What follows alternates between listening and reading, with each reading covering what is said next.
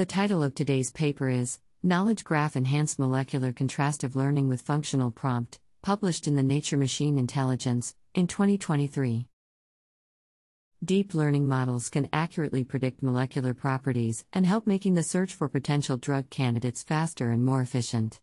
Many existing methods are purely data driven, focusing on exploiting the intrinsic topology and construction rules of molecules without any chemical prior information. The high data dependency makes them difficult to generalize to a wider chemical space and leads to a lack of interpretability of predictions.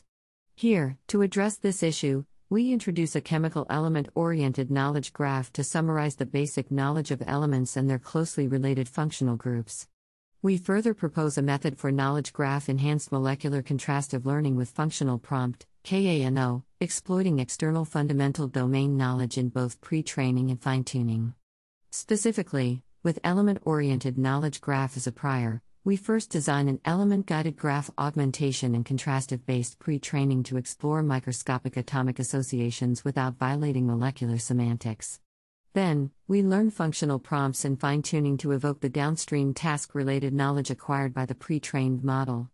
Extensive experiments show that Kano outperforms state of the art baselines on 14 molecular property prediction datasets and provides chemically sound explanations for its predictions.